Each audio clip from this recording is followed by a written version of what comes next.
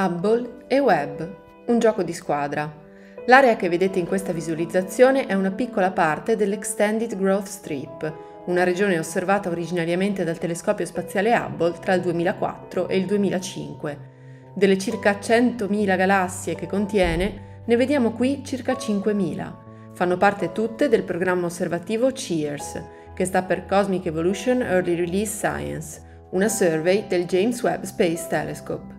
E mentre la fotocamera si addentra nell'universo lontano, ogni secondo equivale a viaggiare per 200 milioni di anni luce fra le galassie e ci fa vedere quindi 200 milioni di anni più in là nel passato. L'aspetto delle galassie cambia dal momento che gli oggetti più distanti popolano un universo più giovane, fino ad arrivare al punto più lontano, la galassia di Maisy, che si è formata solo 390 milioni di anni dopo il Big Bang, circa 13,4 miliardi di anni fa.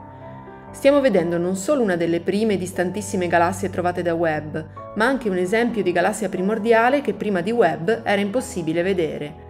Gli strumenti del telescopio spaziale dorato sono infatti in grado di catturare la luce di oggetti come questo, che si è spostata verso lunghezze d'onda dell'infrarosso dall'espansione dell'universo.